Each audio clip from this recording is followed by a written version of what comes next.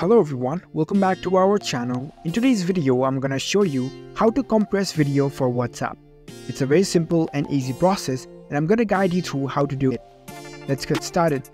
First of all, on your phone, make sure that you've already installed the WhatsApp app, launch the app. In WhatsApp, you might not be able to send video sometime due to its large file size. So in order to compress video for that, you can head over to your preferred web browser. Once you're in your browser, tap on the search bar and search for online video compressor, you will see different options in the search results. You can try and experiment different websites. For now, I will use this free convert website. Tap on it. You can tap on this choose file option.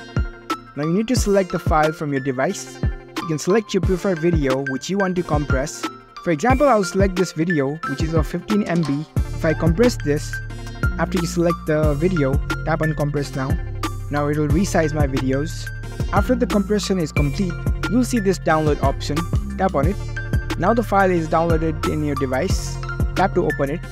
So after the compression of this video, the size of this file is 8 MB, which was 15 MB before. So now you can use this video to send in WhatsApp.